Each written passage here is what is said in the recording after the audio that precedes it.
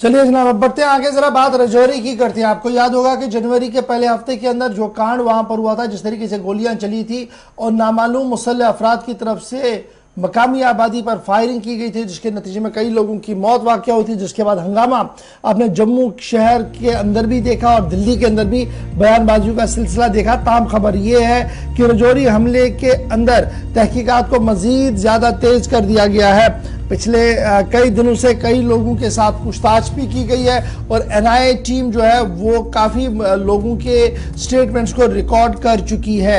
Statements record करने के बाद उन्हें मजीद खंगाला जाएगा, जिसके बाद कई लोगों की गिरफ्तारियाँ भी मुतव है। टॉप ऑफिशियल जो कौमी तहकीकती एजेंसी के हैं, उनका मानना है कि डांगरी गाँव के अंदर वो पिछले दो दिन से अंदर मौजूद है और दो दिन के दौरान कई अहम दस्तावेजात और कई अहम चीज़ें जो है वो उनके हाथ लगी है, जिससे इस केस को ट्रैक करने में और ख़त्म करने में काफ़ी मदद मिल सकती है। तो कौमी तहकीकती agency N I A team जो है, वो डांगरी के अंदर मौजूद है। दर्जनों लोगों से पूछताछ हुई है और इस पूरे मामले में बहुत जल्द डोजर जो है वो पेश किया जाएगा। अब इसके बाद ज़रा आते हैं जी, एक और अहम मामले की और माहौलियात के हवाले से। और माहौलियात को बेहतर बनना तो सफ़ाई करनी है। माहौलियात को बेहतर बनाना तो हमारे आबी चश्मे और ज़खायरों को महफूज करना। और खसूस एक सब्ज इनकलाब लाने की ज़रूरत है। ग्रीन रेवोल्यूशन को लाने की ज़रूरत है। और कल से बाबा तौर पर लेफ्टिनेंट गवर्नर एडमिनिस्ट्रेशन ने यह फैसला लिया है कि इस पर बहुत ज़्यादा काम